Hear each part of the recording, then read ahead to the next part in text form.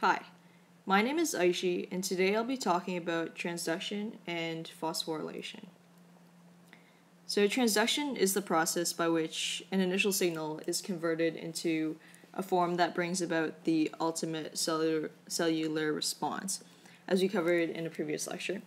And essentially, this process is like a domino effect, where one step brings about um, the next step, and and so after reception or the binding of the ligand to the receptor, the receptor is activated in some way and is able to then activate another molecule, which activates another molecule, and so forth, passing the message along. Now, remember that it's not the actual ligand itself that is being physically passed, but it's the information that is passed along. It's the information that the ligand has bound to the receptor. So, you know, transduction um, consists of multiple steps, allowing for amplification and regulation. So, imagine you have molecule A that is activated. It can then mole- it can then activate several molecule Bs, which can then activate even more molecule Cs.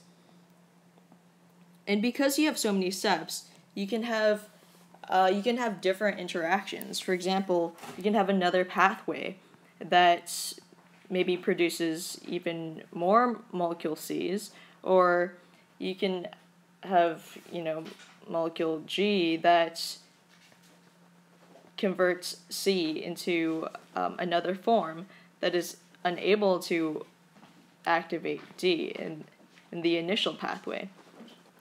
So it allows for, you know, this signal to be amplified and for additional regulation.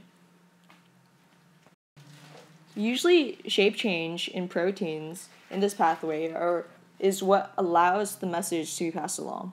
And a very important method of bringing about this change is phosphorylation. And what brings about phosphorylation? Well, these are enzymes called protein kinases.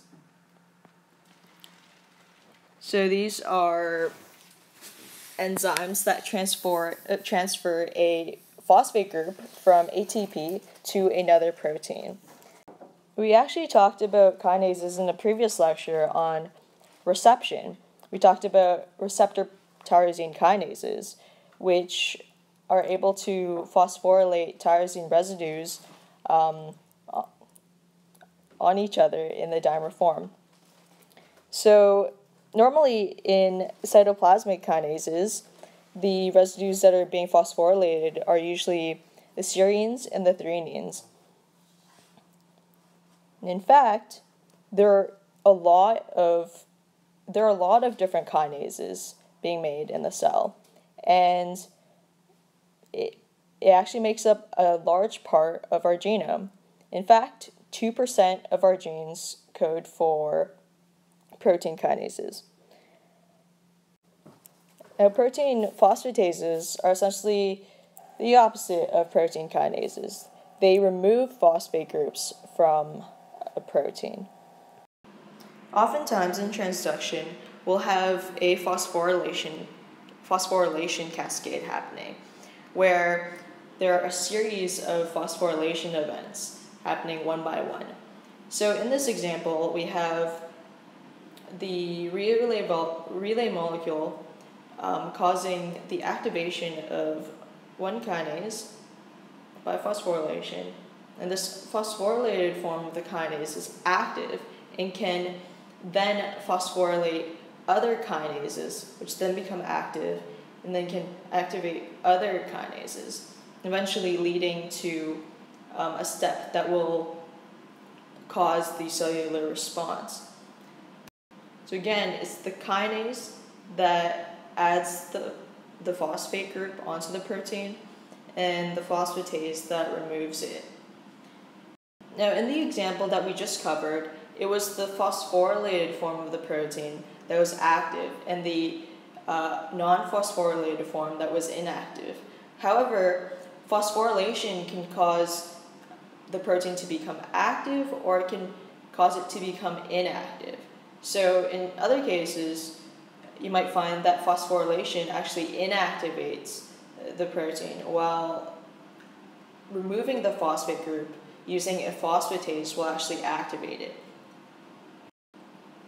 Now, proteins can also be um, phosphorylated several times you can, by different kinases. So you can have one kinase adding several phosphate groups, or you can have uh, different kinases adding you know different ones. For example, one kinase might add this phosphate group, another kinase might add this one over here, and you know this phosphate group might be activating and this phosphate group might be inhibitory.